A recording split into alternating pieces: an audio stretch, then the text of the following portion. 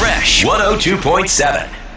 Hey, it's Trey and Ghia with Amber Rose. Hello. Good afternoon. How are you today? Wonderful. How are you? I'm fantastic. Ghia's We're great. wonderful. because you're here. Excited. Aw. Uh, That's now, so sweet. now we know that you have a new talk show coming out on VH1, and we want to talk about that. But there's there's like an elephant in the room. There are these rumors around again about this feud with Kim Kardashian. You've already denied it.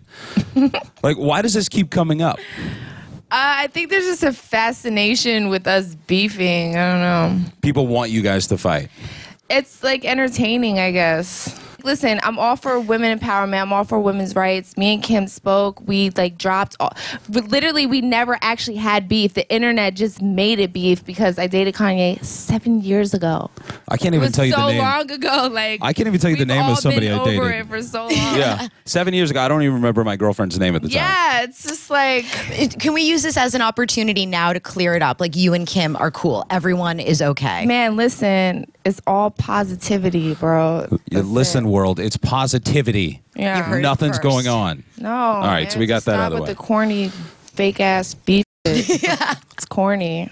Uh, speaking of women empowerment, uh, Ghia was talking about this this morning. She loves the concept of the slut walk. Cool. This Like- is amazing. I, and you. you're moving into your second year now. Yeah. Can we like go into more about this? Like I heard For you're going to be expanding starting in October. It's going to be a bigger event than it was this past year. Yeah, I mean, you know, uh, always the first time around, you kind of work out the kinks and you figure it out along the way. And, um, you know, last year was really cool. I mean, we had four thousand women show up, and that and that press was literally just on my social media. Like I just promoted it on social media, and that was it. Um, and it came out, and it was just, it was amazing. You know, especially when I'm in LA. Uh, women come to me all the time. They're like, I'm closer with my mom now because of Slut Walk. And, you know, I'm closer with my husband. I brought him to Slut Walk and he understands me a lot more. So um, it's just really cool. And for people that don't know, could you maybe go in a little bit more into what the slut walk is? Sure. Um, well, I'll give you a little background.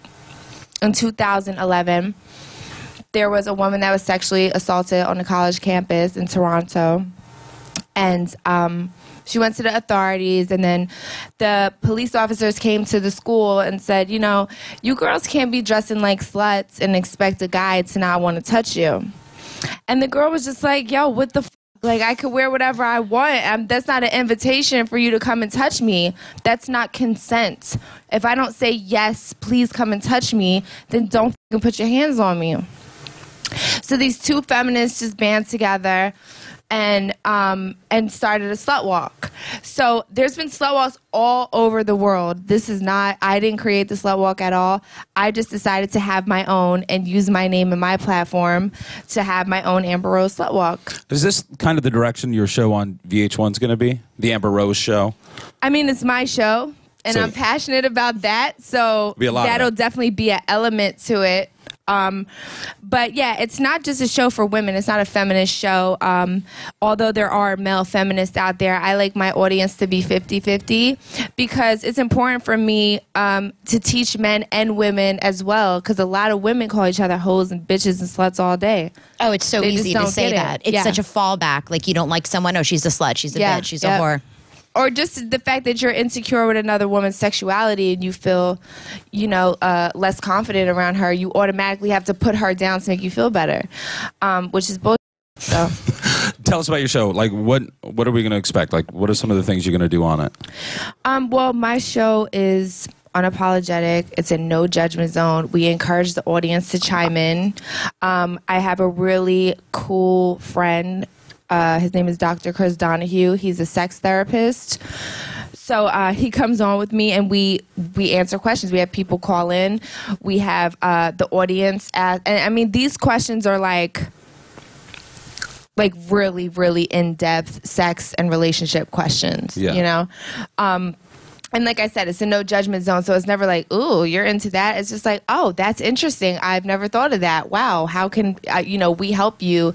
Um, I give my personal opinion based on uh, what I've lived and what I've done in life. He gives the more education uh, aspect of it, and Um, and then we have a whole segment where I interview a celebrity, um, which is really cool because I made a lot of amazing friends over the years, and now they're looking out for me by coming on my show. That's fantastic. like, yeah. who do you have lined up?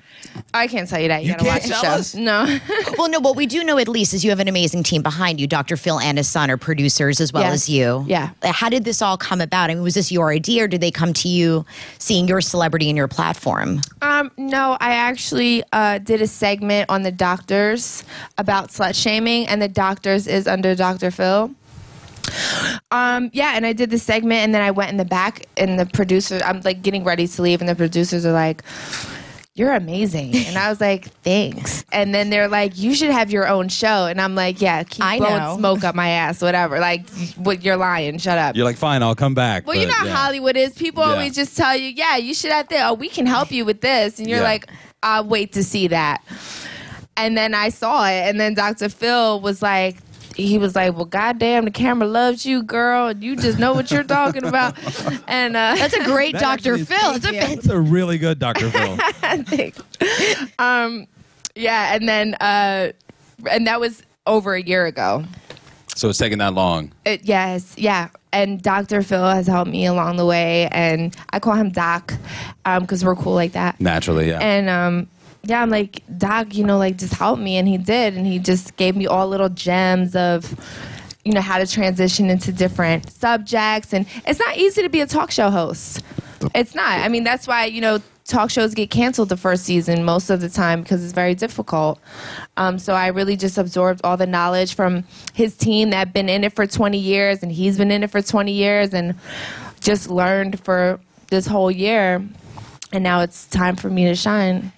Uh, everybody's talking about the presidential election. Let's say you had Donald Trump and Hillary Clinton on your show, Mm-hmm. and you were going to ask them each a question. What would it be? I would never have Donald Trump on my show. Well, that that answers that. Yeah. All right. So Hillary Clinton's on the show. yeah. What are you going to ask her? I'm going to ask her if she forgave Monica Lewinsky. Really? I would watch that. I want to know those answers. Yeah. That's like a whole hour right there. Just Yeah, that for question. sure. That's a two part episode. yeah. Yeah. I would give that to her. She would have it. Yeah. I mean, but that's not completely out of the realm if this does really well and you get signed on. Yeah. Uh, Have you have you gone back or been able to look back on yourself like 10, 15 years ago and would you imagine that this would be your life now?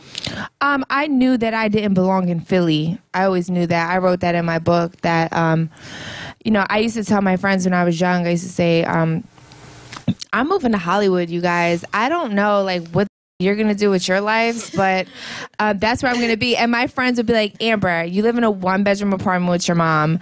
Like, no, you're not ever gonna. You're like, you're totally in denial. And then when it started happening for me, my friends always like every time I go back to Philly, they're like, "Remember, you always used to say, you know, that you would live in Hollywood," and and I did, and I did it, and it's so cool. now that you're adding on this TV show, how are you going to find time? Um, I make time. You know, you mean time for my baby? Time for everything, Time for including you. Sebastian, Yeah. Well, there's no time for me. there's no time for me right now, and I'm okay with that. I'm cool with that. Um, but yeah, I I tell my team to try their hardest to give me two days off a week, so I have full 24 hour days with my son. Now, when I'm in LA, sometimes I bring him to work with me. You know, he lo- he wakes up in the morning. He says, "Mommy, I'm going to work with you today." Like he loves it. But yeah, I try to at least have two days off, so I have full days with him. His father does the same, and um, yeah, I just I'm superwoman, man. I just figure figure it all out. And, and by, speaking of figuring it all out, congratulations, because you and Wiz really have figured it out post divorce. Yeah. That was something beautiful to see. that You went to a strip club together. Yeah. To acknowledge the fact that you worked this out. We signed our divorce papers five months ago. Really? Yes. So like we I've mourned that, you know, that day. It was a very hard day for the both of us because we love each other so much. And in a perfect world, we would be together. But we're both too busy for each other. You know, we're both bosses. It just it just can't work in a marriage. You know what I'm saying? Um, the love doesn't go away though, ever. And it so happened that the divorce actually went through the court. It took that long to go through the court system, and that specific day that we went to the strip club is when it was actually final. Speaking Yeah. of family, Sebastian's three now. Yeah. Uh, you were saying earlier he's really smart. Yeah. Mm-hmm. Really funny. What are you going to say if he wants to do what you do? If he wants to work in the entertainment business, You're going to encourage it? You're going to say this business? I'm gonna let I'm gonna let him know what it is, and I will most definitely be his manager. I will, you know, drop everything. and- yeah, 100. Amber Rose show on VH1. What's the premiere date and time? Um, the premiere date now is July 8th, Friday nights, every Friday night at 11 o'clock on VH1. All right, the Amber Rose show, VH1. Watch it. We're Trey and Ghia. Thanks for watching.